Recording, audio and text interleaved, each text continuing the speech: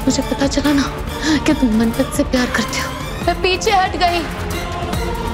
मैंने अपनी मोहब्बत को भुला दिया। मैंने तुम्हें और मन्नत को एक करने में अपनी जान लगा दी।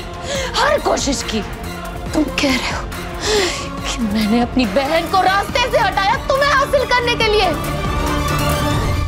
इतनी गिरी हुई नहीं हूँ मैं सुभान। मन्नत ने तुम्हें धोखा दिया है ना?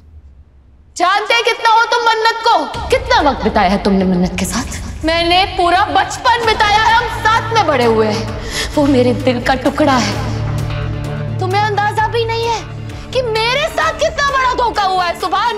उसने मुझसे झूठ बोला, कितनी बार समझाऊं तुम्हें कि मेरे साथ तुमसे भी बड़ा धोखा हुआ है, सुभान। उसने तुम्हारे साथ बेवफाई की, इसमें मेरा क्या कसूर है? वो फरहान के साथ लाख समझाने के बाद भी भाग गई, उसमें मेरा क्या कसूर है? वो मेरी बात नहीं मानी, उसमें मेरा क्या कसूर है, सुभान? मैंने पहले भी कहा है और बार बार कह रही हूँ, मन्नत के गुनाहों की सजा मुझे देना बंद करो, समझे तुम? मेरी कोई गलती नहीं है। और हाँ रही बात मुझसे शादी करने की, कोई ज़रूरत नहीं है।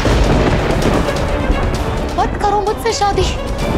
अम्मी को मैं संभाल लूँगी। मुझसे कोई रिश्ता जोड़ने की कोई ज़रूरत नहीं है तुम्हें।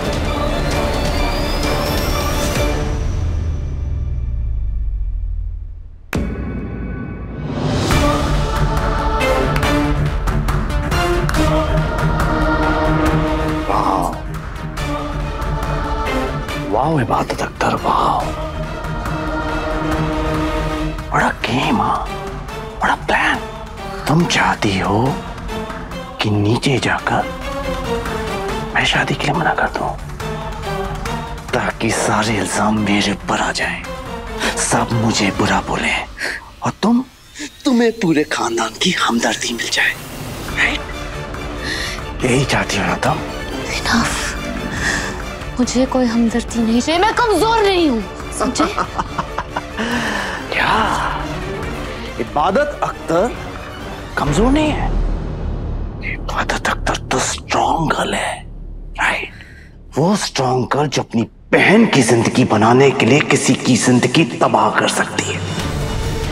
वो स्ट्रॉन्ग गर्ल जो झूठ पे झूठ बोलती चली जाती है, जिसे सच बोलना नहीं आता। या ये कहूँ कि सच बोलना ही नहीं चाहती? हाँ सच तो ये है कि तुम एक नंबर की धोखेबाज, झूठी और चालबाज लड़की हो।